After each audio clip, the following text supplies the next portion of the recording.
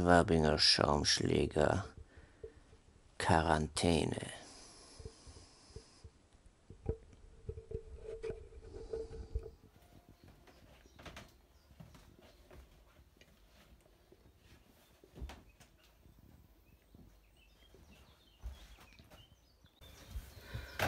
Nichts wird so sein, wie es war, Reloaded oder im Wirbelsturm der Panikzahlen. Willkommen in der Welt der Zahlen. Seit der Corona-Krieg ausgebrochen ist, sitzt gefühlt die gesamte Weltbevölkerung vor Bildschirmen und Verlautbarungstafeln und lässt sich das Leben vorrechnen. Im Tagesrhythmus erfahren wir aus weiß bekitteltem Munde, dass jeder Zehnte, jeder Vierte, jeder Hundertste, jeder Achtundvierzigste, jeder Zweitausendste, jeder Millionste, jeder Zwanzigste oder beziehungsweise überhaupt fast jeder von uns sterben wird, wenn wir den Virus nicht rechtzeitig niederringen. Dazu kommt, dass auf 28.000 Intensivpflegeplätze bald 50.000 oder 2 Millionen oder 1600 oder 398 oder jedenfalls ungeheure Massen von dahinsiechenden kommen werden, von denen wiederum die Hälfte stirbt oder 90 Prozent oder 75 Prozent überhaupt keine Symptome spüren oder nur ein Drittel der vorgeschriebenen Symptome, die aber zu früh oder zu spät oder irgendwann anders. Gebannt starrt man auf die internationalen Sterbeziffern auf Kurven und Diagramme, auf winzige Häkchen nach oben bzw. unten, verrechnet Tendenzen und Prognosen, stellt Mischkalkulationen zu Durchseuchung und Vorerkrankungen an, stellt die Haare zu Berge angesichts von Bildern platzender Krankenhäuser, konsultiert Intensivstationsstatistiken und stellt fest, dass die Krankenhäuser gar, dass die Krankenhäuser gar nicht platzen, höchstens einige kaputtgesparte in Norditalien, die jedes Jahr zur Grippesaison zuverlässig platzen. Der eine Weißkittel versichert, es würden nur bestätigte Covid-19-Tote in die Statistik aufgenommen. Der andere betont, das sei grundsätzlich unmöglich, weil man einem 90-jährigen Menschen, der an Lungenkrebs, Herzschwäche, Diabetes und Demenz leide und sich nun auch noch diesen Virus einfange, nicht ansehe, woran genau er gestorben sei. Der dritte zählt Gehirnblutungen, Herzinfarkte, Verkehrsunfalltote und Suizide in der Badewanne selbstverständlich dazu, solange er nur das Virus findet. Der vierte zeigt auf den Friedhof und meint, da sei sicher eine ganz schöne Dunkelziffer unerkannt durchgerutscht, die Gefahr also noch viel größer. Und der Normalmensch, also jeder von uns, schaut aus dem Fenster und weiß genau, die Zahlen sind alle da draußen, aber wir sind drin. Oder ist schon das Virus in uns drin oder schon wieder draußen? Ein reputabler Mediziner, also einer, den Wikipedia, Facebook und Tagesschau zumindest noch nicht geächtet haben, sondern noch zitieren, berichtet, er führe seit vier Wochen Antikörpertests durch. Ein anderer reputabler Mediziner prophezeit, es werde demnächst Antikörpertests geben. Ein dritter behauptet, sämtliche Tests seien fehlerhaft und unzuverlässig und wird prompt mit einem Kacksturm niedergemacht und medial angeprangert. Bitte nicht anklicken, das ist gefährlich und kostet tausende Menschenleben, flehen Bewegte in Kommentaren unter seinen und seinesgleichen Videos. Einer erklärt, wenn man in einer Woche 10.000 und in der nächsten Woche 100.000 Menschen teste, sei ein Anstieg der Neuinfizierten von 10 auf 100 vollkommen logisch, weil es sich gar nicht um Neuinfizierte handle, sondern der Anteil der anscheinend Infizierten an der Masse der Getesteten exakt gleich bleibe. Auch ihn trifft der Bann des Social Network Kreuzzugs. Hausärzte, die der eine oder andere noch besuchen darf, flüstern hinter vorgehaltener Hand von Schwindel und Blödsinn, erzählen von vermutlichen Covid-19-Fällen schon im letzten Herbst und Winter, die niemand bemerkt habe, weil es noch keine Tests gegeben habe. Sie wollen sich aber lieber nicht näher äußern, weil alles, was vom offiziellen solchen Expansions- und Bekämpfungsdirektiv abweicht, eine strafbare Verschwörungstheorie sein muss, der inhärenten Logik zufolge. Es zählt nur der Test und der sagt, der Tod kommt immer schneller und immer massiver. Sowieso testet jeder anders. Der Deutsche testet von Symptomen Befallene, der Italiener testet Tote, der Iran vermutlich Ungläubige, der Engländer testet mit Tests, in denen der Virus schon drin ist, der Chinese testet angeblich mehr Menschen, als überhaupt Testkits auf Erden vorhanden sind, und der Ami testet nur Privatversicherte. Der Isländer macht repräsentative Testreihen, deren Ergebnis niemand hören möchte, weil es nicht zur Panikmache taugt. Der Japaner testet vorsichtig, weil er keinen Ärger haben möchte. Der Nordkoreaner testet gar nicht, weil es dann auch keine Infizierten gibt. Und wer oder was in Kenia, Guatemala, Turkmenistan und im Südsudan getestet wird, weiß niemand. Sowieso braucht man erst einmal noch mehr Zahlen. Die ändern sich jeden Tag, weil sich die Zählweisen jeden Tag ändern. Bekannt ist das exponentielle Wachstum der Infizierten, weil man neuerdings auch Verdachtsfälle dazu zählt. Personen mit leichten Husten und solche, die vor drei Wochen jemandem begegnet sind, dessen Tante später positiv getestet wurde. Hingegen vollkommen unbekannt ist die Zahl der Getesteten und wie sie getestet wurden und warum. Das brächte nur Verunsicherung. Und Sicherheit ist in Deutschland das oberste Gebot. Das Robert Koch Institut, das seit 1994 ersatzweise die Aufgaben des von Horst Seehofer wegen einem Virus versehentlich kaputt gemachten und nie ersetzten Bundesgesundheitsamtes übernimmt, kennt keine Zahl der Getesteten. Auf fünfmaliges Nachfragen eines beharrlichen Investigativjournalisten kennt es so eine Zahl plötzlich doch, allerdings weiß die eigene Pressestelle nichts davon. Am nächsten Tag ist die Zahl plötzlich wieder verschwunden. Zahlen? Ja bitte, aber die richtigen, die der Sicherheit dienen. Sicherheit heißt, dass man an der Isar als Einzelgestalt nur zehn Minuten lang an einer Stelle liegen darf. Dann kommt die Polizei und scheucht einen weg. Sicherheit heißt auch keine Kommunikation. Erlaubt ist nur der elektronische Austausch, weil bei dem sichergestellt ist, dass man alle drei Sekunden eine amtliche Warnung erhält, auf keinen Fall ein Video der Hocker, Zwodak, Bakti, Mölling, Ioannidis Bande anzuklicken, das möglicherweise von den Wachtrupps bei YouTube noch nicht gelöscht wurde. Sicherheit heißt, nicht auf die Straße, nicht in die Kneipe, nicht zu sterbenskranken, einsamen, verlassenen, verzweifelten Mitmenschen, nicht in die Kirche, nicht auf den Fußballplatz, überhaupt nirgendwo hin, wo man feststellen könnte, dass eigentlich alles ganz normal und nichts Schlimmes passiert ist, dass da überhaupt nichts Wesentliches ausgebrochen ist, dass zumindest nicht einfach so ausgebrochen ist, einfach weil exekutiv deklarierte Notstände das halt nicht tun. Das ist die Grundregel des Ausnahmezustands. Die Illusion der unfassbaren, alle und alles jederzeit und überall bedrohenden und angreifenden Katastrophennotlage darf unter keinen Umständen in Frage gestellt oder gar angekratzt werden. Logik, gesunder Menschenverstand, Verständigung, Überprüfung, eigene Meinungsbildung, Diskurs, Debatte, Beobachtung und unabhängige Einschätzung müssen um jeden Preis absolut ausgeschaltet werden. Und wir sitzen da zugeschüttet mit Zahlen, verstehen nichts mehr, ahnen etwas, trauen uns den Gedanken aber nicht weiterdenken, weil das getrackte Handy auf dem Küchentisch Misstrauen weckt. Hört das Ding vielleicht auch schon mit, was in meinem Kopf passiert? Liest es meine Gesichtszüge und erkennt den Defetisten? Wer werden wir sein, wenn das alles vorbei ist? Oder falls es vorbeigeht? Werden oder würden wir das, was sich verändert hat, überhaupt noch bemerken, wo wir es doch schon so gewohnt sind?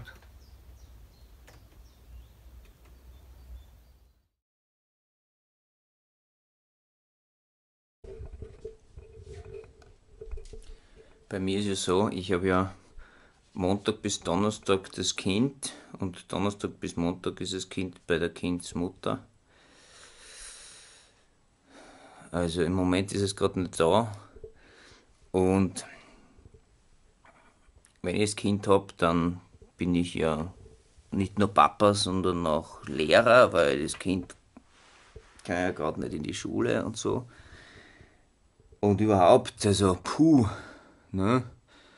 So 24-7, so ein Kind. Das, also, ich habe mir schon zeitweise gedacht, dafür habe ich es nicht gezeigt, dass ich da den ganzen Tag am Hals habe. Und vor allem muss man sich überlegen, was tut man dann mit dem Kind?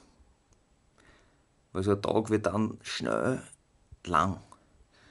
Und deswegen war bei mir das erste, ich habe alle Puzzles einmal wieder gleich vernichtet und auf Anfang gestellt.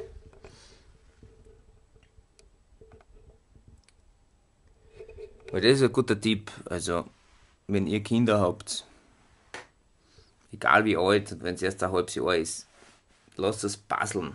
Einfach. Also, ich stecke meins nach spätestens einer Stunde ins Zimmer da einer und sage so, da puzzeln.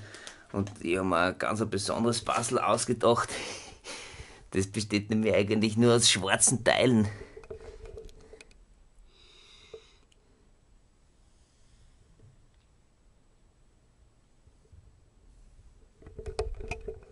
Da passelt es besonders lang.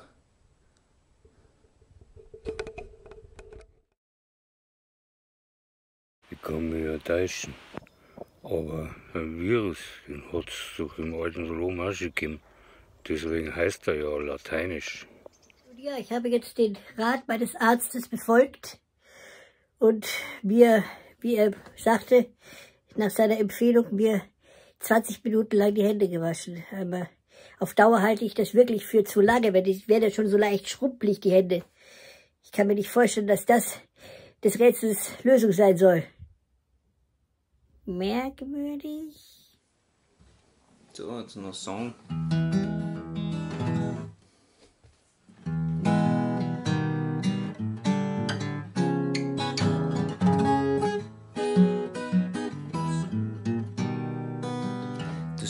Ein herrliches Licht, aber ich höre nur die Feuerwehr.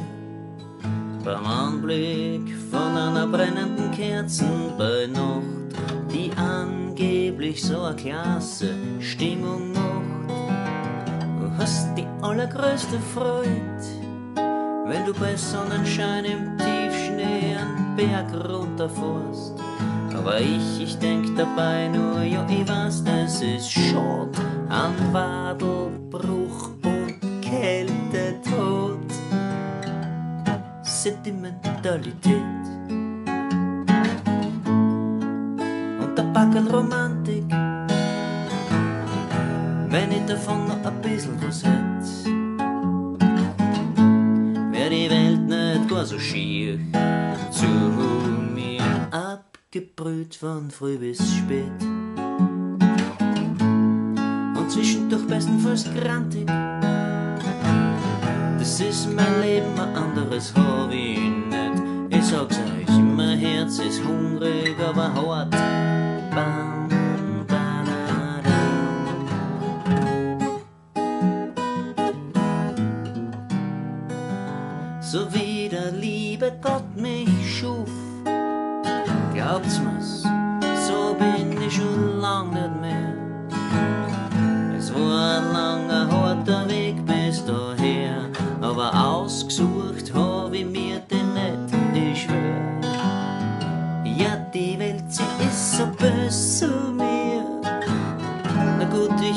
halt auch böse zu ihr.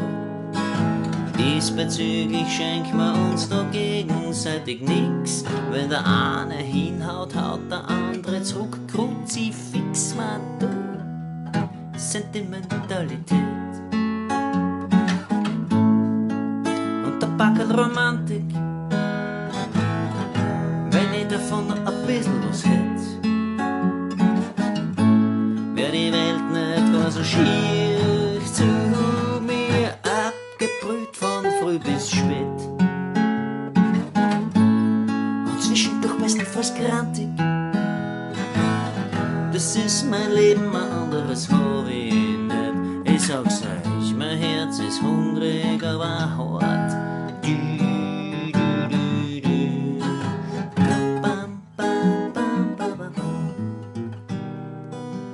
Ich hab schon so viel erlebt. Ich hab die Sonne ins Meer sinken gesehen. Ein Candlelight Dinner am Strand ganz intim. Nur vertrag ich keines Campi, deswegen hab ich dann gespielt. Ich bin der tragischste Held auf der Welt, obwohl mir eigentlich nix wirklich fehlt. Ich hab eine Frau, ein Haus mit Garten und ein Opel Kadett. Nur eine Kleinigkeit besitzt sie halt immer noch nicht, nämlich Sentimentalität. Und der Backel Romantik,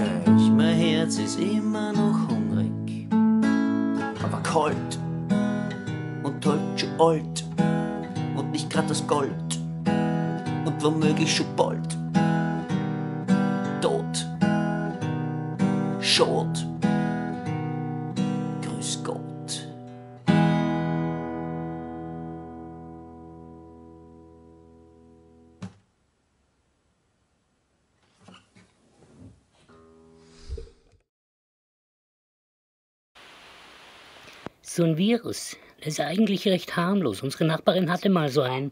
Dem hat sie immer Haferflocken zu essen gegeben. Der war recht zutraulich, aber wenn der Hunger hatte, konnte er schon mal, konnte der schon auch mal böse werden.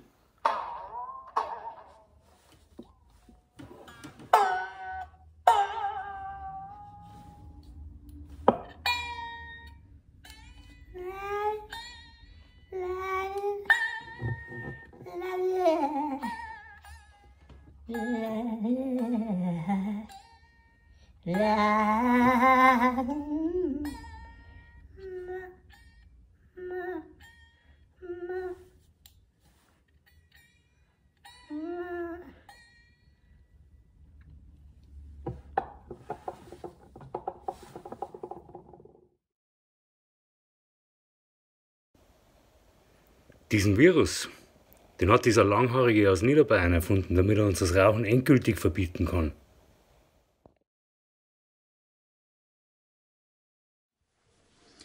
So, ich lese jetzt noch eine Geschichte mit dem Titel Die Skyline von Kopenhagen. Kann ich Ihnen helfen? Na, ich schau nur. Ja klar, kein Stress, gibt ja auch genug zu sehen hier. Naja, das meiste ist schon ein geschissenes Grafe, was da herumliegt. Suchen Sie etwas Bestimmtes? Na, ich schau nur. Was ist denn das da? Das ist eine Plastikspinne. Ah, was? Eine Plastikspinne. Und wozu braucht man den Schaß? Naja, das ist ein Spielzeug. Und wer soll damit spielen? Man kann sie sich auch als Dekorgegenstand irgendwo hinstellen. Mhm. Dekorgegenstand. Ich fühle mich gleich total fachmännisch beraten von Ihnen. Naja, Plastiktiere sind nicht jedermanns Sache. Du weißt nicht mehr, wer ich bin, oder? Äh, nein, sollte ich? Also ich sag's einmal so, zum Nachteiler hätte es dir nicht gereicht. Ja, das tut mir leid, aber ich fürchte, Sie müssen mir da ein bisschen auf die Sprünge helfen. Ich helfe gerne, wo ich kann. Stichwort Stammkunde. Äh, Stammkunde? Ja, ich war vor sechs Wochen schon mal da. Ach so, also das müssen Sie jetzt wirklich entschuldigen. Hier kommen jeden Samstag so viele Menschen vorbei. Das, das ist ein riesiger Flohmarkt hier. Ich habe meinen Stand hier noch nicht so lange. Klar kenne ich schon ein paar Leute, aber vor sechs Wochen sagen Sie? Jo. Und danach nicht mehr? Na. Und davor auch nicht? Na. Also Sie sind heute insgesamt zum zweiten Mal an meinem Stand? Warte, lad mal kurz eine Taschenrechner-App aus dem Internet. Ja, genau richtig gerechnet, Herr Verkaufsgenie. Ja, also, also bei zweimal kann man ja noch nicht wirklich von Stammkundschaft reden. Ja, ich sag einmal so. Man könnte schon, wenn man wollte. Ich bin der mit Basel. Bitte? Ich hab da das Basel abgekauft, das Skyline von Kopenhagen, Ravensburger 5000 Teile. Ach ja, ja, jetzt erinnere ich mich wieder, die Skyline von Kopenhagen, das waren Sie. Ja, schön, Sie wiederzusehen. Finde ich nicht. Ich bin nicht ohne Grund da. Und der Grund ist kein erfreulicher. Äh, ach so, war irgendwas nicht in Ordnung mit dem Puzzle? Ja, so könnte man es ausdrücken, wenn man die wahre Dimension der Katastrophe aus welchen Gründen auch immer verharmlosen täte. Ja, das hört sich ja furchtbar an. Was ist denn passiert? A Tal fällt. Bitte? Es fällt a Tal. Es fehlt ein Tal? Budli Frotzel, los ich mich nicht von dir. Du weißt ganz genau, was ich meine. Ich habe jetzt 40 Tage lang an diesem Projekt gearbeitet, mehrere Stunden täglich, nur um ganz zum Schluss feststellen zu müssen, dass es sich bei dem von dir erworbenen Produkt nicht um ein 5000 Teile Puzzle handelt, sondern lediglich um ein 4999 Teile Puzzle. Glaubst, dass das ein Zustand ist, der einen jahrzehntelangen passionierten Puzzleleger in Verzückung versetzt? Oh ja, also das tut mir jetzt wirklich leid. Lad, tut er das? Ja, total. Ja, weißt du, was mir das tut? Nein. Mir tut das wurscht sein, dass dir das leid tut. Davon kann ich mir jetzt nämlich auch keinen Händelhaxen mehr außerbochen. Äh, bitte? Ja, es, es ist wurscht, das ist so eine Redewendung. Ja, also wie gesagt, das ist mir höchst unangenehm, aber Sie müssen das verstehen, das ist hier ein Flohmarkt, ich verkaufe gebrauchte Sachen, da kann es einfach schon mal vorkommen. Du hast mir versprochen, dass das Basel vollständig ist.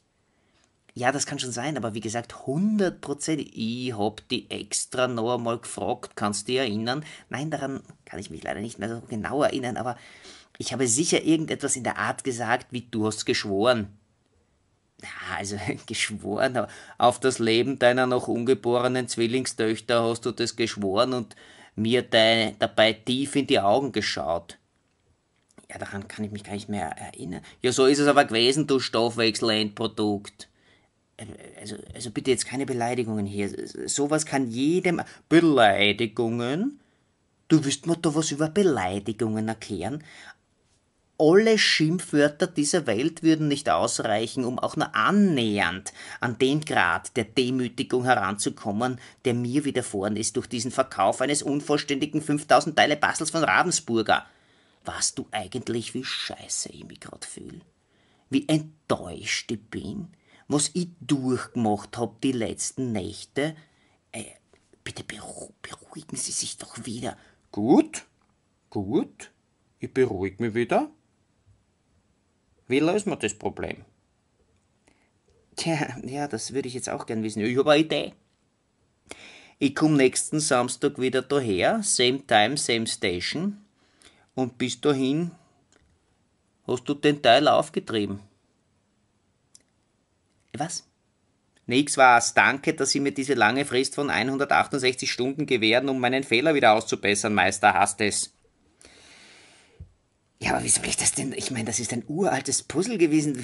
Das kann ich nicht mal mehr nachbestellen. Das ist mir vollkommen wurscht.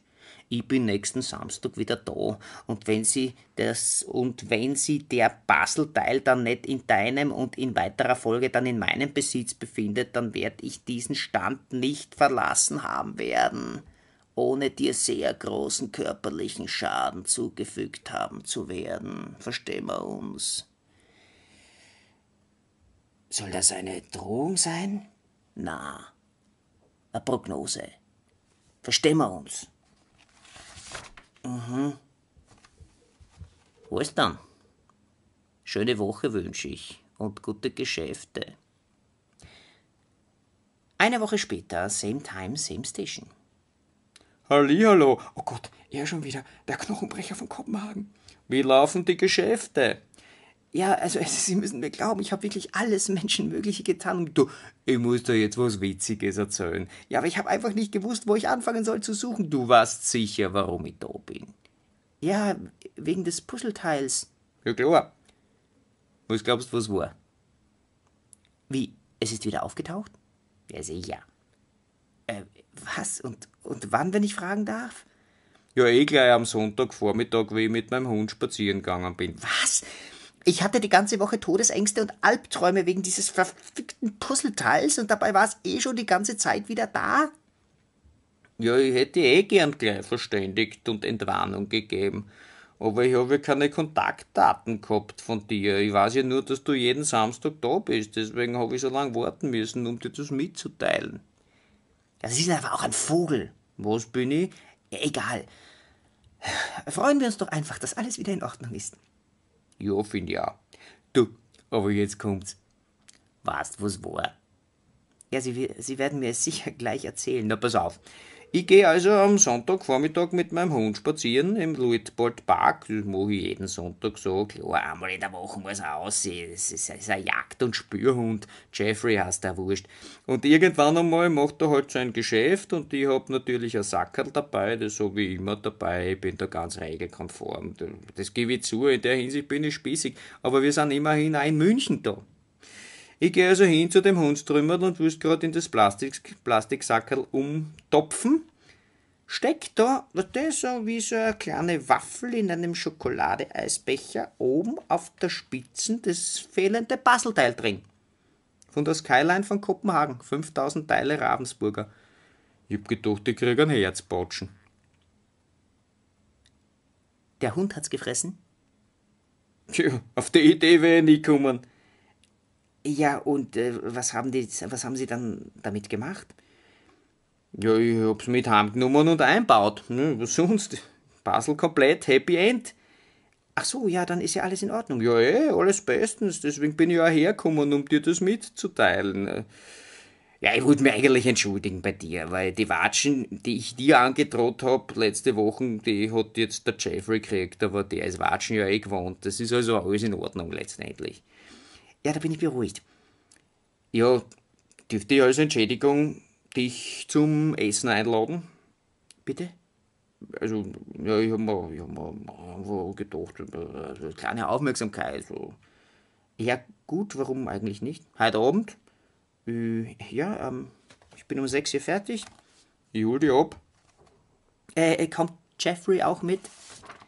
Na, mit dem gehe ich nur am Sonntag aus. Gibt's irgendwas, was du nicht isst oder hast du Allergien oder irgendwelche Intoleranzen? Nein, ich esse eigentlich alles außer Schokoladeeis.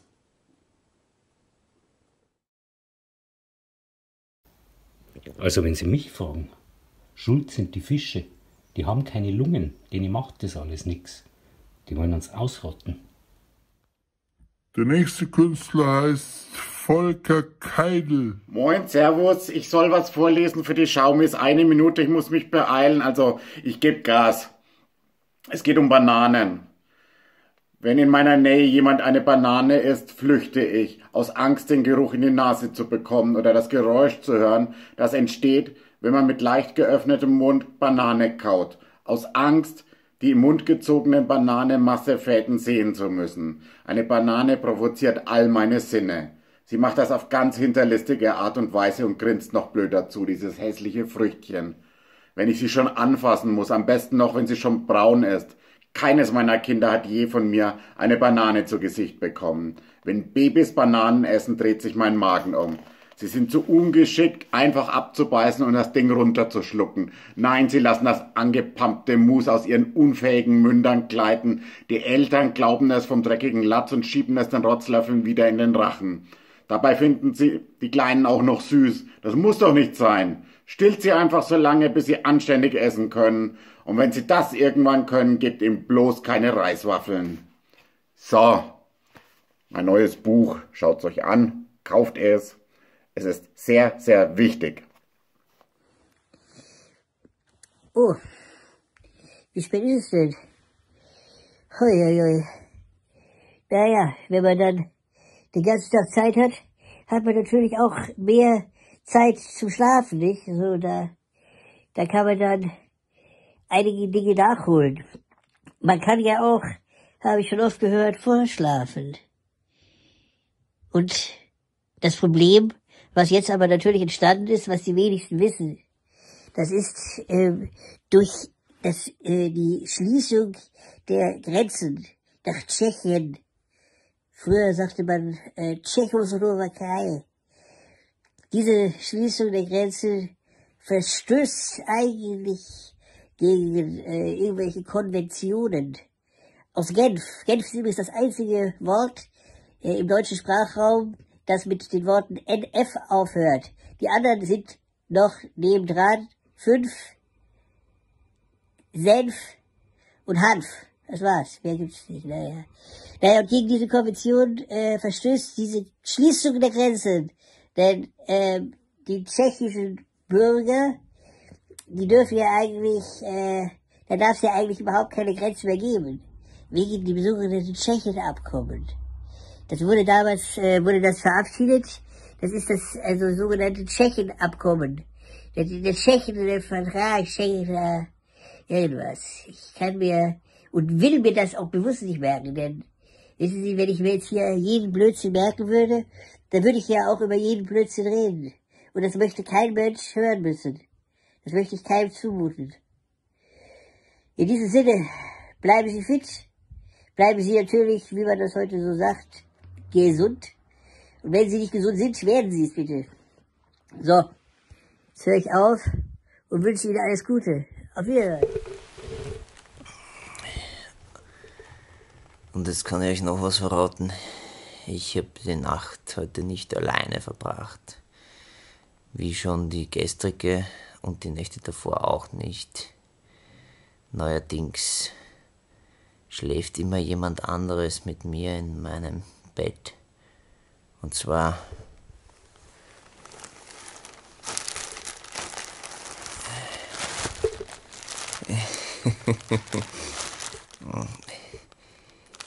die, die lasse ich nicht mehr los. Die. Es ist, also, meine letzte Klopapierrolle habe ich schon längst aufgebraucht. Ich verwende jetzt eigentlich nur noch Wasser und, und Topflappen für den Klogang, weil die brauche ich nicht an. Weil da, na, das ist mir, das ist mir wirklich zu heilig, zu wertvoll. Ich meine, ey, alter Klopapier verwenden, um sie damit den Hintern auszuwischen. Geht's noch?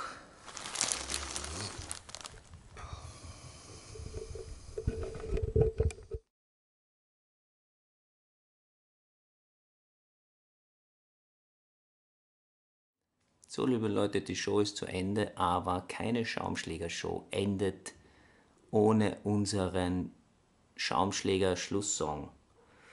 Den muss ich jetzt leider allein spielen, weil meine Kollegen, der Michi und der Moses, nicht äh, zumindest körperlich anwesend sind. Aber ihr könnt sie alle mitsingen. Den Text kennt ihr hoffentlich mittlerweile. Die Geister gehen auf die Jagd, für laute Musik ist es schon zu spät. Was zu sagen war, ist nun gesagt, dann hoch das Glas aufs nächste Tete. Der Schaum ist jetzt geschlagen, leicht wie ein Flaum, lass dich von ihm tragen in den Traum,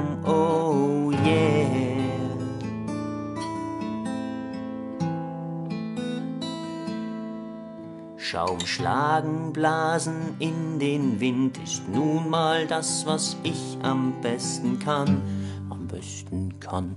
Doch ich glaub, dass Schäume Träume sind, ein schöner schlägt dich heut Nacht in den Bann, in den Bann. Der Schaum ist jetzt geschlagen, leicht wie ein Flaum, lass dich von ihm tragen in den Traum, oh yeah.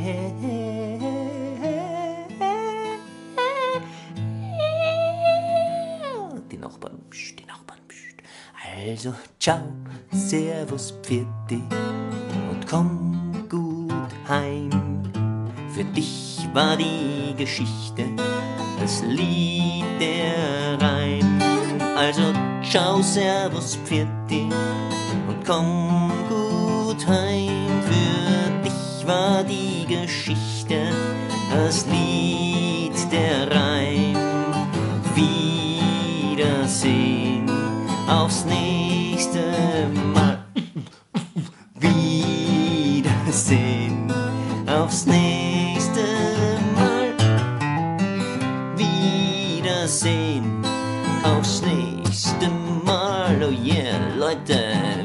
Schwabinger Schaumschläger, wir sind keine Traumjäger, geschweige denn Raumpfleger, wir sind die Schaumschläger. Wir haben die Texte von morgen, tragen sie heute schon vor. Drin liegen Schätze verborgen, dringen an euer Ohr. Wir singen dabei auch Bier, na wisst, wir trinken dabei auch Bier. Aber Lieder ja nur, was bringt euch das, fragt ihr? Naja, Literatur.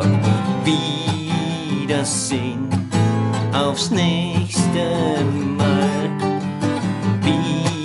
Wiedersehen aufs nächste Mal. Oh yeah.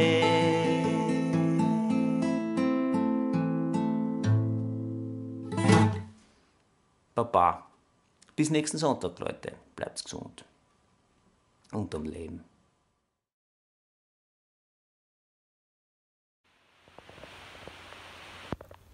Wer diesen ganzen Scheißdreck erzählt hat, hat die Colon- Colonia-Virus, gut, da brauchen wir gar nicht diskutieren.